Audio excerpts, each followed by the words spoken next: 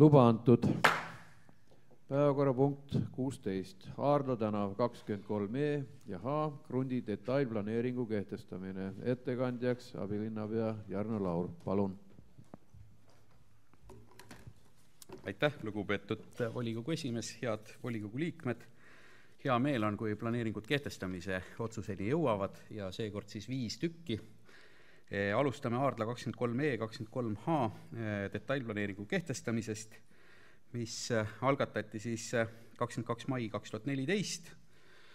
iseenesest oli suhteliselt lihtne krundi jagamise planeering, avalik väljapanek toimus kahekümne sei-, seitsmendast kuni kahekümne esimese aprillini käesoleval aastal.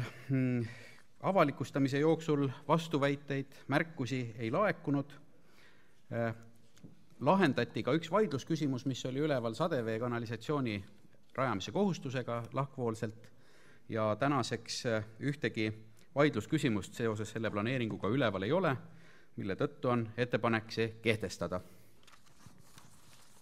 aitäh ettekandjale, on küsimusi tekkinud? ei näe, aitäh. siis palun kaasettekandeks mikrofoni juurde Arengu Planeerimiskomisjoni esimees Verni Loodmaa.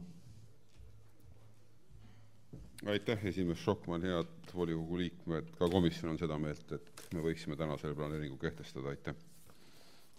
aitäh, kas on kaasettekandjale küsimusi? ei näe. sõnavõtusoove laekunud ei ole, kas on repliigisoovi? ei näe lõppsõna soovi ettekandja ei, kaasettekandja mitte, fraktsioonide esimehed ei soovi.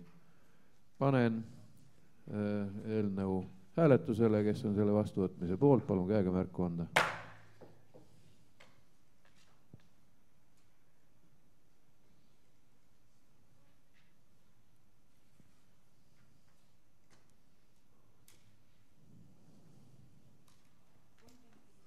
kolmkümmend viis poolthäält, kas on vastuhääli?